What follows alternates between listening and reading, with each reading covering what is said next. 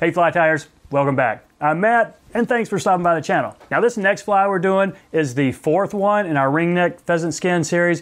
You might recall this is one where we've gotten volunteers to tie flies that predominantly use this ringneck pheasant skin. Now, if you recall, we had some pretty fun patterns from Edward and Jamie in the last couple of weeks. Now, today's fly is by Ted Tarrant from Virginia. Ted's calling this one the Old Rag All-Purpose Nymph.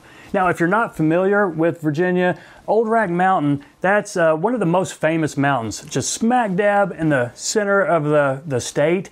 It's on the eastern half of the Shenandoah National Park. Now, it's a very famous mountain for hikers. I mean, there's a nine and a half mile circuit, then I think a five and a half mile out and back. But what I really like about Old Rag area is just so many great rivers, trout streams there. Now, Ted fishes the Hughes and Robinson and Rose rivers. Uh, and their headwaters are right there at Old Rag Mountain. There's also some great brook trout tributaries there. You've got Cedar Run and White Oak Canyon. Now, I fished these rivers this past summer, and I can tell you, there's nothing more beautiful in the state than all these rivers and the Shenandoah National Park. I mean, you're not far from the Rapidan Wildlife Management Area, too, so there's just all kinds of great water there. So, Ted fishes these rivers a lot, hence the name the Old Rag AP.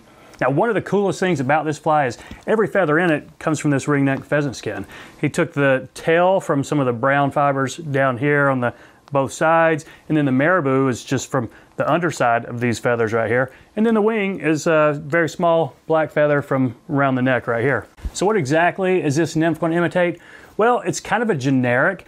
Um, tie it small enough, it's going to be a great mayfly imitation, and a little bit bigger to be a stonefly. So it's not going to look exactly like any nymph, but it's going to look enough like both of these. But what's really going to make this thing work is it's got some soft hackle for the, the tail and then a little bit of the marabou in the throat. So I think this thing is just going to look alive in the water. I think it's going to fool a lot of fish, and I really think we got a winner here. So let us know what you think in the comments about Ted's Old Rag All-Purpose Nymph. So there it is in the vise. Ted Tarrant's Old Rag All-Purpose Nymph. Kind of reminiscent of a zug bug with this wing on there the way it is. Now I'm tying this on a size 10. It's a 2x long nymph hook and I'm going to put down about 9 wraps of 020 weight. Now did I say I was tying this on a size 10 or 12? I forget what I just said, but it is a size 12. Ted tied his on a size 10 and he had 10 wraps. That's why I just put 9 wraps because mine is a little bit smaller. So I'll put a dam behind it, then take the thread up to the front, dam it up there, and then bring the thread back to the bend of the hook.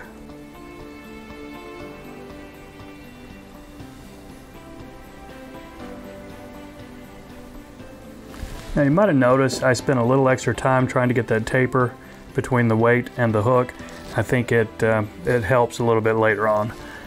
So what you want to do next is take one of the big brown feathers that I showed you a minute ago and they're a little bit marabou-like, a little bit fluffy and I'm going to, well wait, before we do that, let's tie in the tail. So one of the feathers that's a little bit less marabou-like and take the, just, just pull some of the See the little clump of them right here. They're kind of marabou on the that, but not so much on the tips. So a good handful of them. And I'm not making a real long tail, but it's it's a little bit, maybe a little bit bigger than the, the gap of a hook. So let's try this one right here and see how that looks. Two wraps. Okay, I think that's the size I want. I'm gonna leave this in here just to help bury this up until I get to that weight. Now we can go ahead and snip this off. And our next component is some UTC wire. Now Ted tied his original with a black and a size Brassie. This is a size smaller because I did not have black and a Brassie and I wanted to stick to the original as best I could. But I do think this fly would look pretty good if you used a a gold or a brighter colored um, wire rib. So something to consider, you know, experiment and play around with it. Okay, now we're gonna wrap the body. This is the interesting part. So another one of these big fluffy marabou-like feathers with some really long barbules.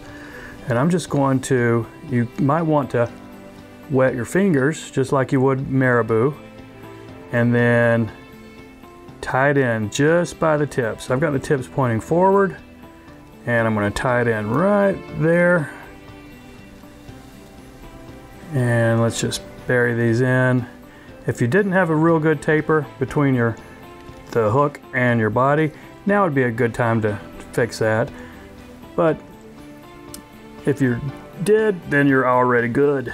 So, okay, what we do here is we spin this. I pulled some of the fluff off so I can grab it by the, the bare stem and I'm going to spin this into a rope.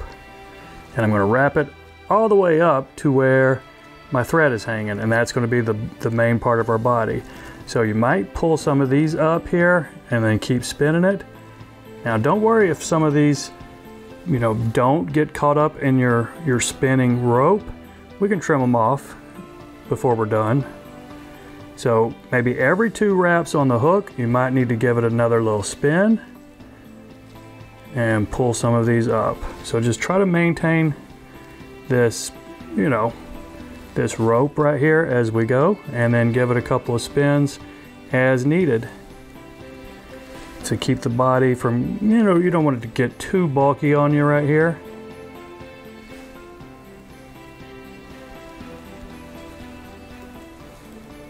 Think that's going to be fine right there. I'm going to go ahead and catch it off. That might be a little bit more than half, but that's fine. That's really kind of what I want. So let's go ahead and snip this big clump off right here.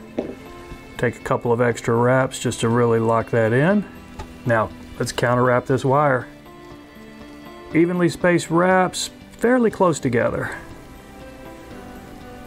Just really gonna lock this, this feather body and make the fly a lot more durable.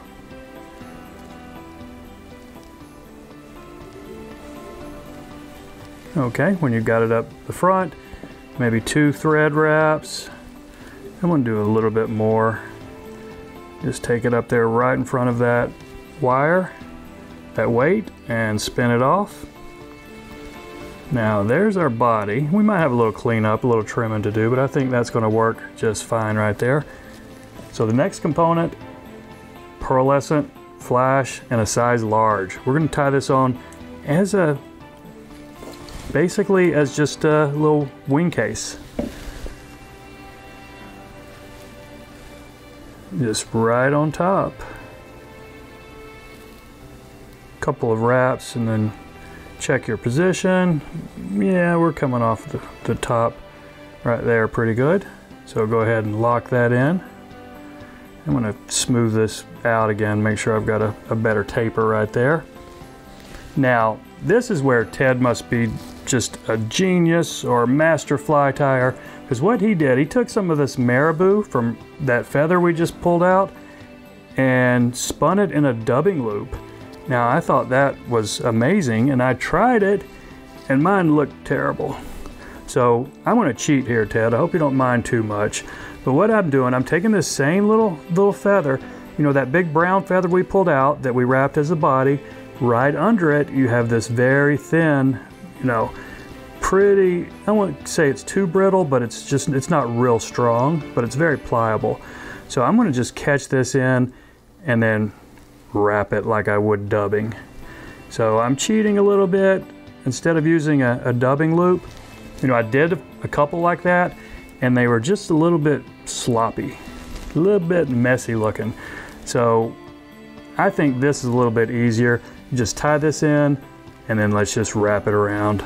Two wraps is really all you're going to need and even with that we're going to have to trim a lot of these with our well with our fingers because it, it is like a CDC marabou type feather so just two thread wraps here to catch this in now and don't worry that it's a big buggy mess right now because we're going to pluck some of these out in just a minute. So I'm pushing them a little bit down into the back while I wrap this thread back to really lock them in. And now let's just pull this wing case over. You can use it to help situate some of that that gray marabou if you want. So let's get this wrapped in here.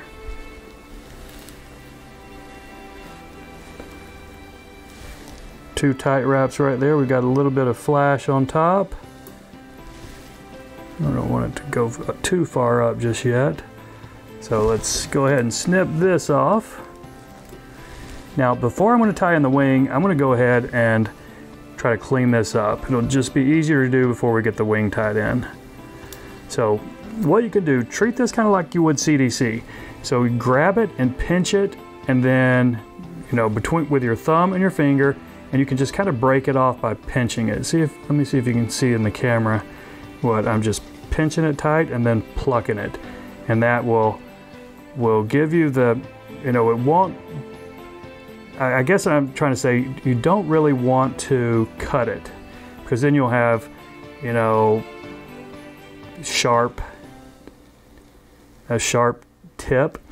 So just by pinching and plucking, it's going to look a lot better. And it's going to keep that natural look through the water. So you might even want to pull a, a few more out than that.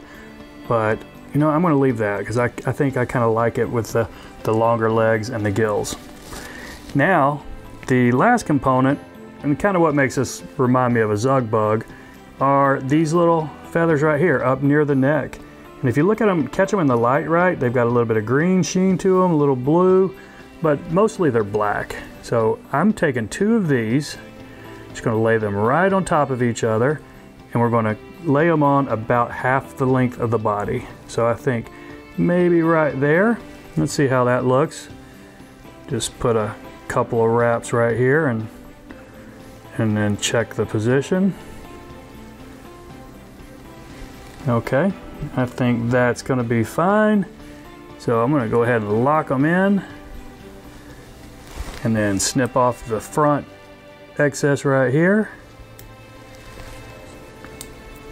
And we're to have some cleanup on this for sure. So I'm taking my thread right back to the eye and I'm to build this little ramp, get a nice clean head that I can put a drop of head cement on. Got a little bit fuzz right there. But let's go ahead and wet finish it and then we'll worry about the cleanup. Okay, so critiquing this one, where's some cleanup? I've got a stray fiber right there. My tail looks fine. And I've got some fibers right here. And we might want to just, you know, pluck a few more out of this with your legs and your, I mean, it's not a scud. So let's just, you know, pull a few more of these out right here. Thin it up a little bit. And there you go. I think this is a, a fishable fly right there. I'm gonna put some head cement on it and then put this in my box. So there you go, folks. Ted Tarrant's, Old Rag All-Purpose Nymph. Pretty cool looking pattern. I think this is gonna be really buggy. I think it's gonna do pretty well here. So that's all, my friends. Thanks for watching. Take care, and we'll see you next time.